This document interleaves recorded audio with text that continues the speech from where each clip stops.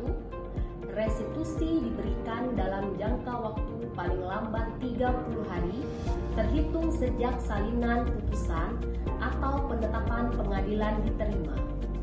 Ayat 2, jaksa menyampaikan salinan putusan pengadilan yang membuat pemberian restitusi sebagaimana dimaksud pada ayat 1 kepada terpidana, korban, dan LPSK dalam jangka waktu tujuh hari terhitung sejak salinan putusan pengadilan diterima. Ayat 3.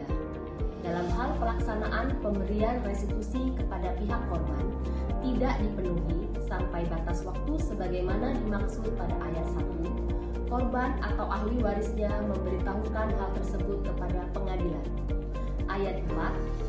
Pengadilan sebagaimana dimaksud pada ayat 3 memberikan surat peringatan secara tertulis kepada pemberi restitusi untuk segera memenuhi kewajiban memberikan restitusi kepada korban atau ahli warisnya.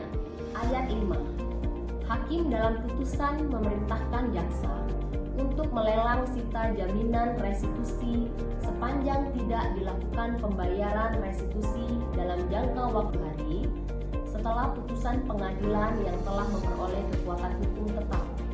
Ayat 6, dalam hal restitusi yang dititipkan, sebagaimana dimaksud dalam pasal 31 ayat 2, dan harta kekayaan terpidana yang dilelang sebagaimana dimaksud pada ayat 5 melebihi jumlah restitusi yang diputuskan atau ditetapkan pengadilan, jaksa mengembalikan kelebihannya kepada terpidana.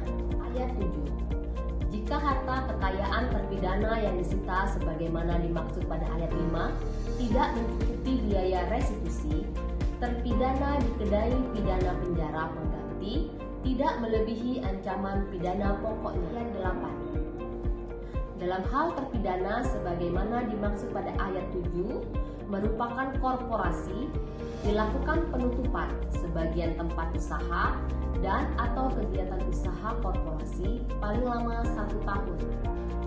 Ayat 9 Pelaksanaan pidana pengganti sebagaimana dimaksud pada ayat 7 dan ayat 8 dilakukan dengan memperhitungkan restitusi yang telah dibayar secara proporsional